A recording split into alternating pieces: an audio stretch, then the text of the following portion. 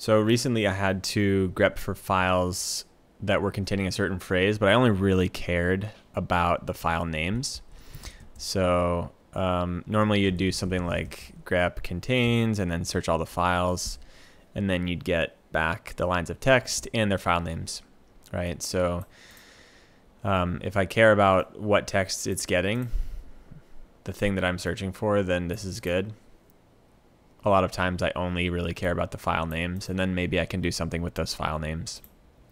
So in order to grep for a certain phrase and just get back the file names, we're just to pass lowercase l as a command line argument. Once we pass that, then it'll give us just the file names.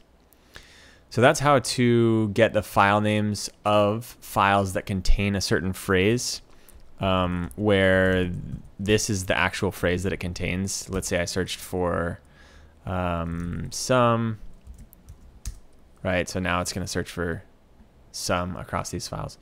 So contains is the phrase that I'm searching for, and then you want to do this lowercase l.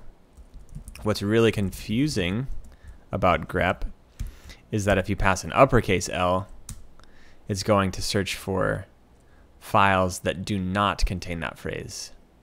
So I don't know who came up with this idea, but lowercase l and uppercase L will do complete opposites. So you don't want to do that um, unless you're searching for files that, that do not contain your phrase. But if you want to search for just file names that contain your phrase, you can pass the argument anywhere. Drop that lowercase l in. And then that'll give you just the file names.